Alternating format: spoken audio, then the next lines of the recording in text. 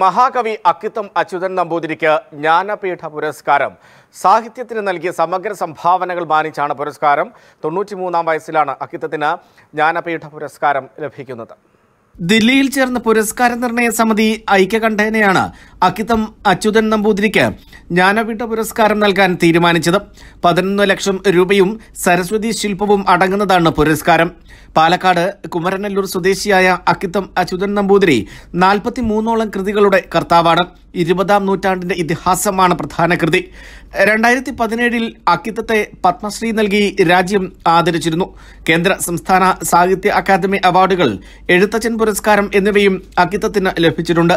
തന്നെക്കാൾ വലിയ കവികൾക്ക് കിട്ടാത്ത അംഗീകാരം കിട്ടിയത് ആയുസ്സുള്ളത് കൊണ്ട് മാത്രമാണെന്നും തന്റെ കവിതയ്ക്ക് ശക്തി പകർന്ന ഭാര്യ ഒപ്പമില്ലാത്തതാണ് സങ്കടമെന്നും അക്കിത്തം പുരസ്കാരത്തോട് പ്രതികരിച്ചു. എന്റെ കവിത കവിതയ്ക്ക് ശക്തി നൽകിയത് എന്റെ പത്നി ശ്രീദേവി അന്തർജനമാണ്. അവരെത്ര കഷ്ടപ്പെട്ടിട്ടുണ്ട് ഇതിനു വേണ്ടി എന്നത് എനിക്കേ അറിയൂ. ഇപ്പോൾ അവരെന്നോടൊപ്പം ഇല്ല എന്നതാണ് ഏറ്റവും വലിയ സങ്കടം.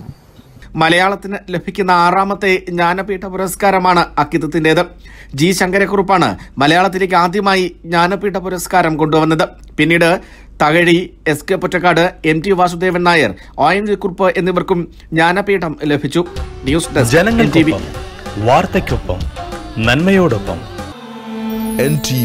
U A നന്മയോടൊപ്പം the world.